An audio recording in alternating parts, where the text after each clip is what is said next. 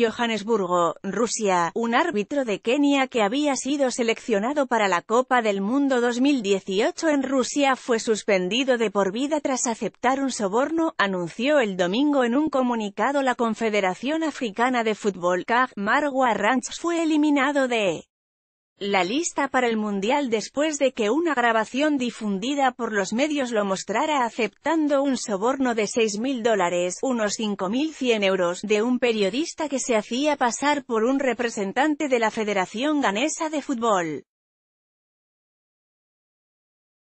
Marwa Ranch, como árbitro asistente durante un partido. Agencias en su breve declaración, la CAF no dio detalles sobre qué se esperaba que Ranch hiciera a cambio del dinero.